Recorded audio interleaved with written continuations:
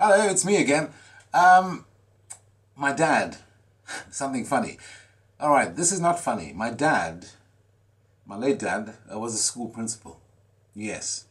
And it just so happened, when I was in primary school, uh, my dad happened to be the deputy principal at the school at the time. Fun days. Don't ever think having your dad at your school as a deputy or principal is a great thing. Not because the other kids hassle you. No, no, no, not at all. Your dad will make sure that you do all your homework. Oh, yes.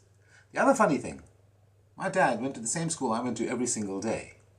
I didn't get to ride to school with him. No, you should be like either all the other students.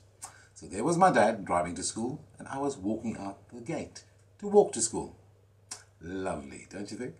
Uh, and of course, the fact that having your dad at school as your headmaster meant he would instruct your teachers to give you additional homework so that you'd be more thorough in your understanding of the subjects. Yes, and you couldn't go home and say, No, I don't have any homework today. You can check with my teacher. Well, most times your parent won't. This time, he would. Because he could. He could phone them there and then. But and also, beside that, I did creative writing every single day of the week after school. Because my dad believed that if you wrote every day, your writing got better and you'd be able to speak better and people would understand you better and say, hey, that guy speaks really well. Maybe we should give him a job as a radio presenter.